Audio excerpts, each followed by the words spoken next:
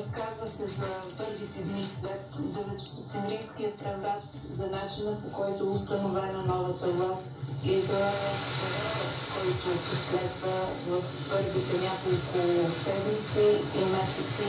Една тема, която е много нелицеприятна, много трагическа, неатрактивна и което поразява тези хора, които са били там нормални българи, които не са очаквали, които не са предполагали, никога не са мислили в такова екзистенциално зло, може да се стовари върху тях. Наградата на Теодора Димова ще бъде връчена онлайн на 15 юни. Светослава Кузнанова.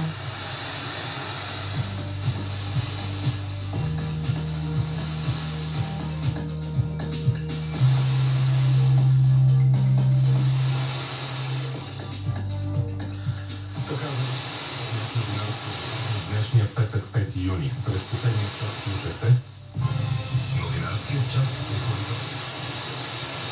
През последното денонощие 24 часа 60 минути.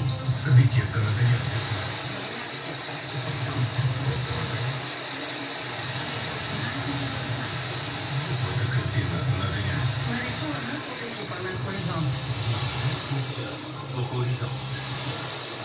Стасовий Михайло Міховський.